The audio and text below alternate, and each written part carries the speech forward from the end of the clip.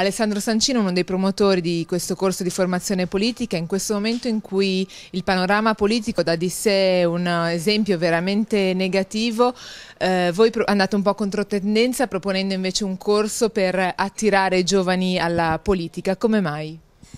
Perché c'è bisogno, come hanno detto persone autorevoli, di una nuova generazione di politici impegnati nelle istituzioni, ma soprattutto, consentitemi uno slogan, c'è bisogno di tanti nemici della casta. Io mi sento un nemico della casta, ma per essere veri nemici della casta occorre conoscere come funzionano le istituzioni, avendo delle conoscenze di storia, delle conoscenze di economia, di urbanistica, di politica affinché veramente la casta venga sconfitta sul suo terreno. Non è solo con eh, dichiarazioni giornalistiche che si batte la casta, ma è stando lì insieme a loro, stanandoli quando vanno a utilizzare i soldi dei cittadini per i loro interessi. Per questo occorre tornare alla serietà, alla sobrietà e soprattutto al senso del sacrificio, quindi allo studiare come si fa politica, studiandolo un po' sui libri, un po' ascoltando autorevoli personaggi e un po' anche stando tra i cittadini, ascoltando le loro esigenze e provando a risolverle.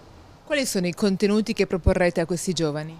Una lezione di storia e una lezione di attualità conoscere le tradizioni per progettare il futuro. È un corso assolutamente trasversale che vuole dare una visione super partes affinché i giovani che vi partecipano possano con capacità critica farsi le proprie idee ed imparare delle, delle soluzioni gestionali che vadano veramente a migliorare la vita dei cittadini. Solo se ci sarà questo tipo di politica, una buona politica, potrà ritornare la credibilità da parte dei cittadini nelle istituzioni e noi con questo corso vogliamo veramente dare un piccolo segno di speranza.